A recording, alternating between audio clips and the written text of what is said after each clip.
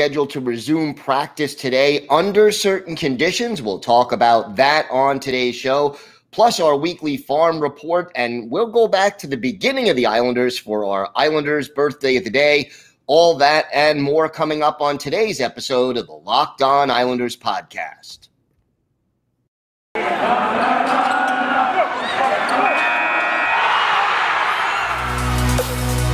Locked On Islanders, your daily podcast on the New York Islanders. Part of the Locked On Podcast Network.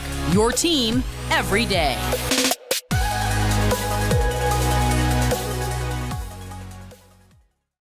All right, everybody. Welcome to the Wednesday edition of the Locked On Islanders podcast. So glad you could join us today, and thank you for making Locked On Islanders your first listen every day. We are free and available on all platforms. And I'll, I'll tell you, uh, it's great to be here. Hopefully, we're getting uh, Islanders hockey back very, very soon. And I am certainly looking forward to that. Today's episode is brought to you by Primal Origin Oils. Got beard? Get Primal. Stop the itch and make your beard look healthy and groomed. Check out primaloriginsoils.com to learn more about their full line of beard care products use the code locked on for a 20% discount at checkout. So today, lots to discuss. We believe that the Islanders will be resuming practice today. There are conditions. We'll talk a little bit about that. Uh, we'll also take a look at some of the players the Islanders called up uh, when COVID hit and injuries hit, and who among those players might just deserve to stay around a little bit longer, even when some players return to the lineup. And we have our weekly farm report, which uh, basically looks at everything happening around the Bridgeport Islanders. So, lots to discuss on today's show. If you've got something Islanders related on your mind, if you have a question, a comment, a topic that you'd like us to discuss, feel free to send us an email. The email address is lockedonislanders at gmail.com. And if you leave your first name and where you're from, we are happy to mention you on the show when we talk about whatever it is that's on your mind. You could also follow the show on Twitter at Ice Wars NYR. No, excuse me, at Locked On Isles. And you could follow me, Gil Martin, on Twitter at Ice Wars NYR VSNYI.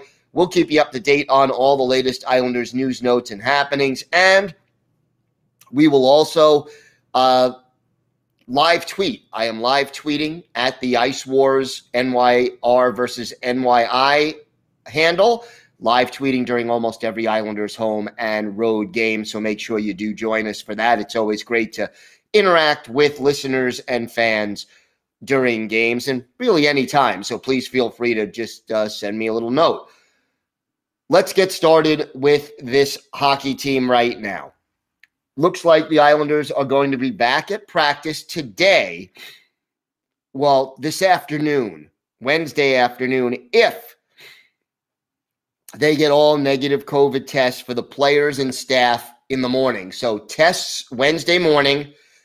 And if the players who are not presently on the COVID list test negative, the Islanders will be cleared to practice. And then I assume that means that the game will be played on Thursday. And hopefully, when the Sharks come to town, we will have a full preview of that game uh, on tomorrow's show. But uh, by then, of course, we will know what the situation is with regard to those tests. And uh, fingers crossed, because I really do want this team to to get back onto the ice.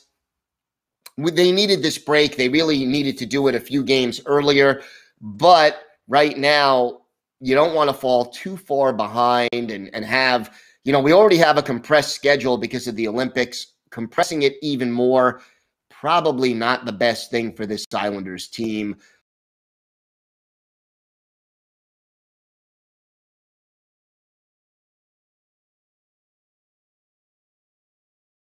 Uh, you know, where it is, but hopefully the Islanders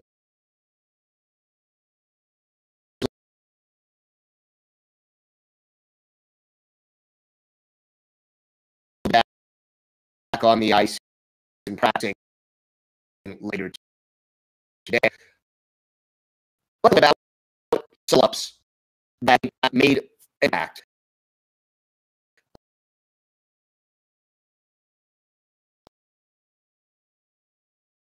Uh,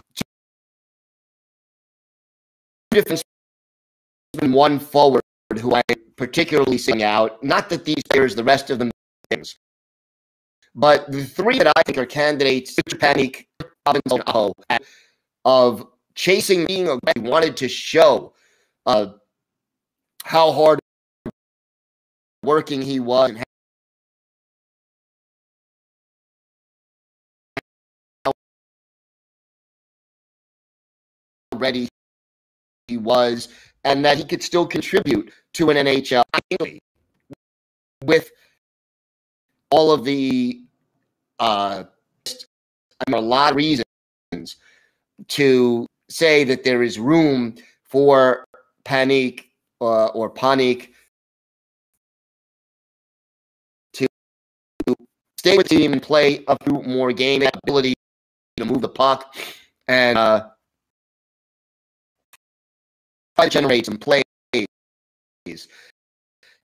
As for the two defensemen, Robin, uh, defensive prospect in Bridge at least, and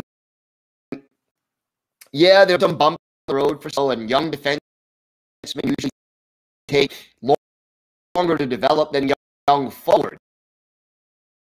Uh, he was paired at Mayfield, and that did pretty, you know, pretty good combination. And, and I think that again, the Islanders need need more puck moving defensemen. Dobson is the only one on the top six roster to me. Salo uh, would be a great to the roster.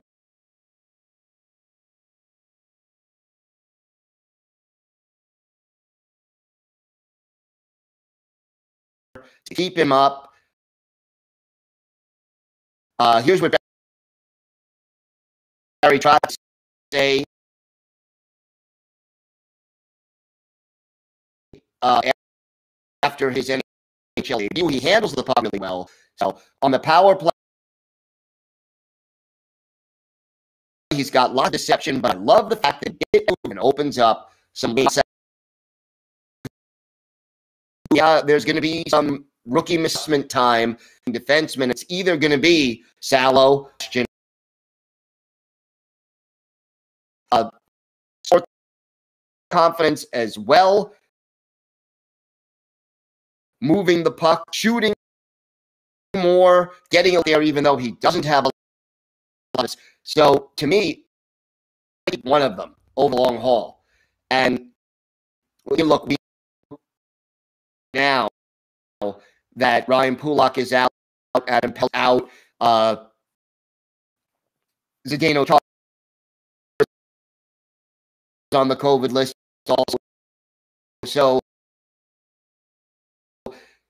to me, you have Salo and Ah guys a little bit, but I would keep one of those two younger puck. They have replaced Nick Leddy unless they get one of them from either Salo or Aho, uh, because it has to be. You can't have that moving non-offensive mind a defense where five out of your six just really are not that kind of player. I am hoping that they find room for those two defensemen plus Richard Panik, uh, and we'll see what happens here. We have got more to discuss on this episode of the Locked On Islanders Port as we look at all things Bridgeport.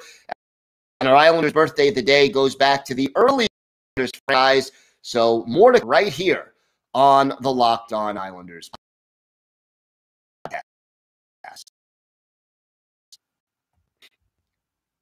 Get Primal. You heard me right. Got beard? Get Primal. If you or somebody you care about has a beard, it needs to get Primal. Maybe you're that guy who's never considered the benefits of treating your beard with product.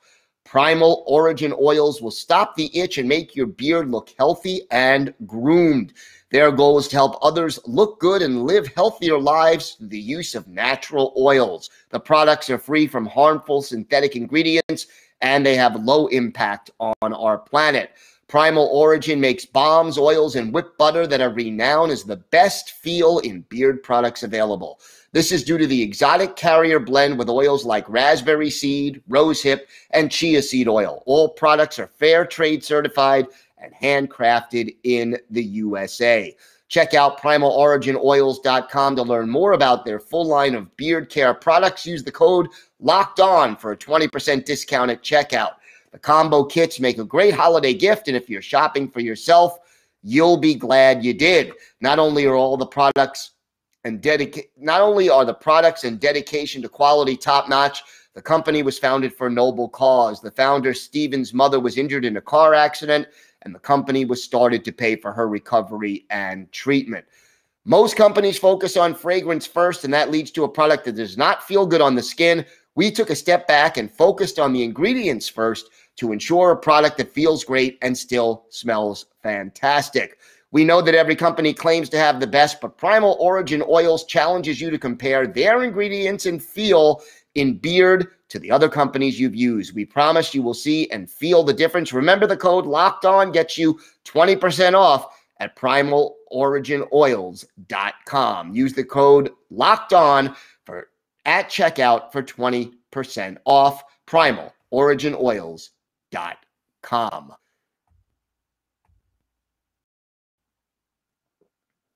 This episode is also brought to you by your friends at Built Bar. This holiday season, grab the protein bar that tastes like a candy bar, or even better than a candy bar. That's Built Bar. It's filled with so much holiday goodness, rich with decadent flavor, covered in chocolate, but amazingly low in calories, sugar, net carbs, and fat, and high in protein.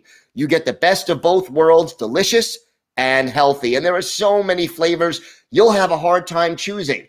Will you have raspberry or mint brownie, cherry or double chocolate, cookies and cream, or peanut butter brownie? Built Bar gives you that extra fuel you need to bust down those mall doors and battle all the holiday shoppers. Or if you're just standing in endless shopping lines, Built Bar can give you that extra something to keep you going. So throw one in your jacket or purse. You never know when you're going to need it. Because it's the season of peace and love, don't bring your don't bring up your favorite Built Bar flavor at family parties. People are so passionate about their favorite flavor, they'll fight for it and things could get out of hand. Are you friends with Santa? Well, tell Santa to throw in a few built bars in those stockings with so many flavors, they'll make anyone's Christmas morning a happy one. Like some of those marshmallowy treats around the holidays, you need to get your hands on Built Bar Puffs. They're light, fluffy, and marshmallowy through and through different flavors, all covered in chocolate. It tastes so good, you won't believe that they're filled with protein. Go to built.com, use the promo code LOCK15, and you will get 15% off your order. That's 15% off at built.com when you use the promo code LOCKED15. Time now for our weekly farm report. Take a look at all things Bridgeport Islanders. And last end, the holiday weekend, Islanders losing two out of three games. They played Wednesday night uh, at the Springfield Thunderbirds, fell by a score of four to one in that one, and it wasn't really uh, an easy game. All four goals uh, given up came in the second period. Cory Schneider played in goal, and you think, oh, he gave up four goals, probably didn't play well. No, 44 saves for Schneider. And the problem is that the Islanders gave up 48 shots on goal, the 44 saves matching Schneider's career high uh, in the AHL. And again, uh, he was a little too busy in his goal. Austin Czarnik was the only goal scorer late in the game uh, to prevent the shutout but the shots on goal tell you the whole story. Springfield 48, the Bridgeport Islanders 19. And when, when the shots are that one sided, uh, not easy, needless to say, to win a lot of hockey games. Friday night, uh, last weekend, the Islanders hosted the Providence Bruins. They fell in that game three to two. Collin Adams and Erik Brown with the goals. But, you know, again, one period, in this case, again, the second period was the problem. The Providence Bruins scored three times in the second. Adams scores in the first, Brown in the third for Bridgeport, but it wasn't enough. And the final score in that one was three to two. But finally, on Saturday of last week, the Islanders get a victory, two goals by Austin Czarnik, and uh, Paul Thompson got his first goal with Bridgeport, and the Islanders skated to a four to one win at Lehigh Valley as they defeated the Lehigh Valley Phantom. So one win, two loss week in the past week. Cory Schneider, 25 saves, finally getting off the schneid and getting his first win for Bridgeport. He is now one and six on the season. An empty net goal by Simon Holmstrom ended uh, a seven game skid by Bridgeport. And again, hopefully, Bridgeport can start to get back on track. It, it, it's a it's a process, and it's taken them a little time, but I, I, again, I think the arrow is pointed in the right direction overall for the Bridgeport Islanders. And, you know, you look at the leading scorers on this team as of right now, and Chris Terry has six goals and 15 points in 17 games. Otto Koivula, also 15 points, only three of them goals. Austin Czarnik, five goals, 12 points. Blade Jenkins has five goals uh, also. And uh, Arnaud Durandeau, four goals, 12 points. Simon Holmstrom, 12 points and three goals. And then, you know, Andy Andreoff, who's been up with the Islanders lately, nine points in 15 games. So those are the leading scorers right now for uh, Bridgeport. And, you know, you, you also have to look at goaltenders because right now, Jakob Skarek, he's been slumping a little bit lately. Got off to that hot start. His goals against average now a 3.07. He's 5 4 and 2 on the year, save percentage 901. Cory Schneider getting closer to Skarek in statistics. His goals against average now at 3.19. The save percentage actually better than Skarek's. It's now 904 especially after that 44 save effort uh, last Wednesday by Cory Schneider. So the goaltending in pretty good, good hand. Bridgeport. It'll be a busy week coming up. Two home games. One on Saturday night at 7 o'clock against the Providence Bruins. And then Sunday, the 3 o'clock matinee uh, against the Charlotte Checkers. So that one should be interesting. And it is superhero weekend. So uh, check that out at Webster Bank Arena as the Bridgeport Islanders uh, are playing two games this weekend and uh, should be a fun one for the kids with Superhero Weekend. Again, we do the farm report usually on Wednesdays, and uh, we keep you up to date on the Islanders stars of tomorrow and what they're doing today. So uh, make sure you join us for that. And anybody who has questions about what's happening down in Bridgeport, again, feel free to send them our way here at the Locked On Islanders podcast. When we come back, we have our Islanders birthday of the day and some more thoughts about the operation of practice and play, which will take place today. And uh, we'll keep you up to date on all of that via Twitter and elsewhere here, Locked On Islanders podcast. Today's episode is brought to you by Bet Online. Bet Online has you covered all season with more props, odds, and lines than ever before as football season continues their march to the playoffs. Bet Online remains your number one spot for all the sports action this season. Head to our new updated top or mobile website to sign up today, and you can receive a 50% welcome bonus on your first deposit when you use the promo code LOCKON.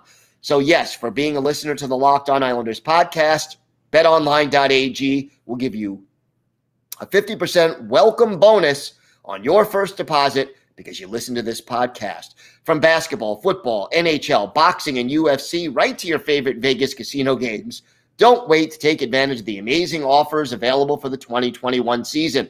Bet online is the fastest and easiest way to bet on all your favorite sports. Bet online, where the game starts. Time for Islanders' birthday of day. We're going to go all the way back to the Islanders' first, second seasons. And we want to wish a very happy 73rd birthday. We're going to be one day early on this one to former Islanders center Ralph the Fort William Ontario. Uh, his NHL debut with the Vancouver Canucks in the 1970-71 season, but came to the Islanders in 72-73, their first year. Stayed with the team through the 75-76 season and then headed back to Vancouver. For his career, Ralph Stewart played in 252 games in the NHL, 57 goals, 130 points, 28 penalty minutes. He did actually play in 19 playoff games in the NHL, and all of them came with the Islanders four goals and eight points, 13 of those 19 coming in the Islanders' first playoff year. of 1974 75. best season with the Islanders, 374, 23 goals and 43 points in 67 games. Followed that up in 74 75 with 16 goals and 40 points. We're going to look at one of his best games with the Islanders. In fact, this was his best game, uh, probably of his NHL career, at least. December 22nd, 1960, at the St. Louis Arena, Islanders taking on the Gerry Desjardins, the goalie for the Islanders, Wayne Stevenson in between the pipes for the Blues, and in the first period, just one goal. Craig Cameron of the Islanders was off for interference, and Steve Durbano, best known as an enforcer, uh, he got his fourth goal on the power play from Garry Unger, the former NHL Ironman, and Glenn Sather. Yes, that Glenn Sather at 137. That was the only goal of the period. Islanders trailing one to nothing. But in the second, the Islanders bounce back. Just seven seconds into the second period, our Islanders' birthday of the day, Ralph Stewart, his 10th of the year, Craig Cameron with the only assist. We're all even at one apiece. Just a minute 33 after that, Ernie Hicke puts the Islanders ahead 2 to 1. His fifth goal of the year, the captain, Ed Westfall, Denis Potvin get the assist at 240 and the Isles have the lead. But they couldn't hold the lead. Steve Durbano in the penalty box, he got two for elbowing, a 10 minute misconduct, and a game misconduct. That was typical Steve Durbano behavior. But the Blues come up with a shorty. Chris Evans, his second from Gord Brooks at 1551, ties it at two. But in the closing seconds of the period, literally with eight seconds left in period two, our Islanders' birthday of the day, Ralph Stewart scores his 11th. Bert Marshall and Brian Spinner Spencer are the assists. And the Islanders take a big three to two lead after 40 minutes. In the third, the Islanders go down a man. Jean Potvin off for hooking Ralph Stewart. Our Islanders' birthday of the day completes the hat trick with a short-handed goal. Stewart his 12th, unassisted at 9:35. The Islanders skate away with a 4-2 win over the Blues. Gerry Desjardins 31 saves to earn the victory.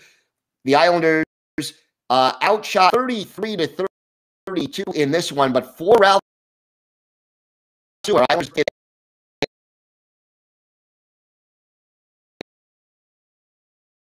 shots and goal. This is a game where he was all the place and just pouring on the offense. A rare win for the Islanders in the season, four to two over the St. Louis Blues, and, and the hat trick for our Islanders' birthday of the day, Ralph Stewart. We wish him all the best. And 73 on this day. Hopefully, hopefully on track. Resume practicing today. Again, we'll keep you up to date via Twitter as to whether or not COVID tests are passed. But two things you got to hope for. Number one, that they do pass uh, the test and resume skating and can play on Thursday. And number two, that enough players come back that they can ice a quality team. That is obviously important for the Islanders. We will be back tomorrow with a full preview of Thursday's hopeful game against the San Jose Sharks, plus the latest updates on all the injured and ill Islanders. I want to thank everyone for making Locked On Islanders your first listen every day. Now, make your second listen Locked On Bets. It's your daily one stop shop for all your gambling needs. Locked On Bets is hosted by your boy Q with expert analysis and insight from Lee Sterling. It's free and available on all platforms. That does it for this episode of the Locked On Islanders pod. I've been meaning to say this the last couple of days and forgot, unfortunately. Happy Hanukkah to everybody who is celebrating. So, uh, want to wish everyone uh, all the best for the Festival of Lights. Uh, stay safe, everyone. Have a great day. And of course, let's go Islanders.